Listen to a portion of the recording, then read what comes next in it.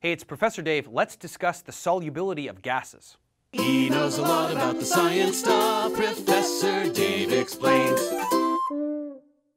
We know that solutions involve one or more solutes that have been dissolved in some solvent. And typically, when we talk about solutions, we are looking at solids that have been dissolved in a liquid to form a solution, such as an aqueous solution of some ionic solid like sodium chloride. But in actuality, solutions can involve any combination of phases. One possible type of solution involves gaseous solutes dissolved in liquid solvent.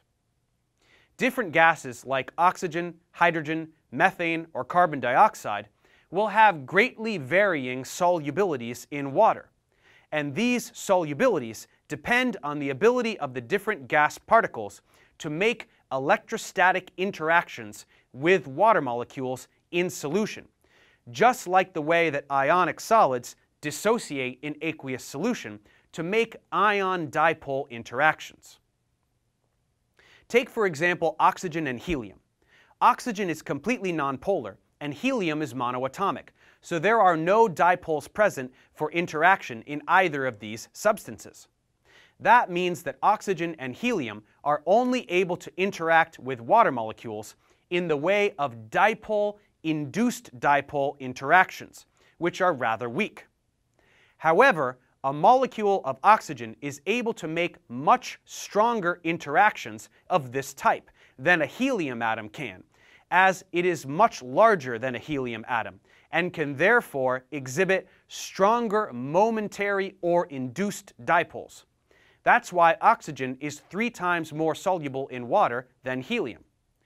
But oxygen is still 100 times less water soluble than chloroform, because chloroform can participate in actual dipole-dipole interactions with water, which are possible because of the formal dipole in the molecule.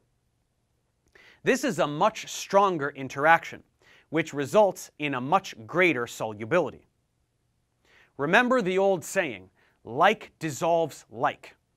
Since the dipole on every water molecule is interacting with the dipole on other water molecules, substances that can best approximate these types of interactions will be able to mix the most effectively amongst the water molecules, which means a greater solubility.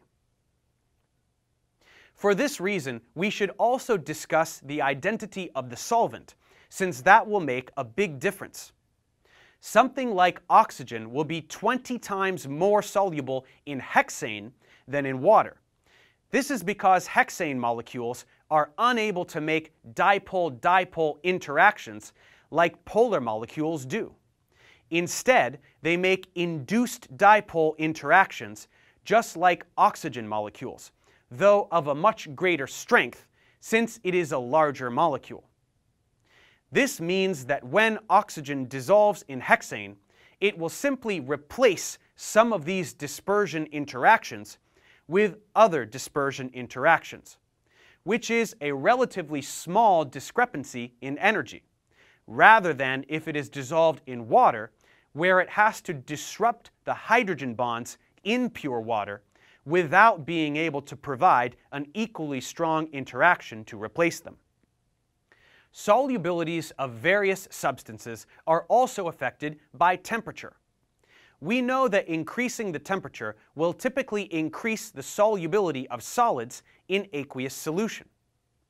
This is in part because the resulting additional kinetic energy can push the molecules in the solid apart but also higher temperatures increase the spontaneity of an entropically favorable process, and dissolution is entropically favorable, since matter is being dispersed. However, contrary to this trend, increasing the temperature of an aqueous solution will actually decrease the solubility of most gases in water. This is because the gas particles will have more kinetic energy, so they are moving more rapidly through the solution and are therefore less capable of interacting with solvent particles. This also makes them less likely to be contained in solution, as they are more likely to have enough energy to escape the solution and move into the atmosphere.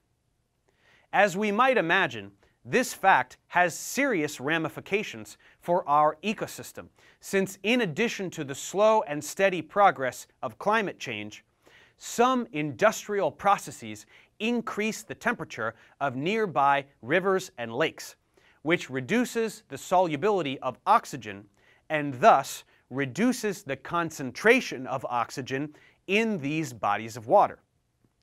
Aquatic life, like fish, need oxygen to breathe, so if enough oxygen escapes the water, many fish can die, which can be catastrophic for that biosystem since other organisms eat those fish.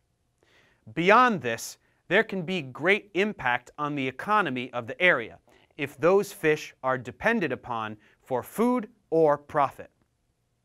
As we have just discussed the dependence of gas solubility on temperature, let's also discuss the solubility of a gas as it relates to the partial pressure of that gas. Specifically, the greater the partial pressure of a specific gas directly above a liquid solution, the higher the solubility of that gas will be. For example, carbonated beverages are prepared by exposing a liquid to a high-pressured sample of carbon dioxide gas. Because there are so many carbon dioxide molecules that are colliding with the gas-liquid interface, many more of these molecules will enter the solution, which results in a saturation of the beverage with carbon dioxide. This happens during the packaging of any can or bottle of soda. Then, once the container is opened at home, much of that carbon dioxide will quickly escape, which results in the familiar hiss we hear upon breaking the vacuum seal. And now we know a bit about the solubility of gases. Thanks for watching, guys. Subscribe to my channel for more tutorials. Support me on Patreon so I can keep making content. And as always, feel free to email me, ProfessorDaveExplains at gmail.com.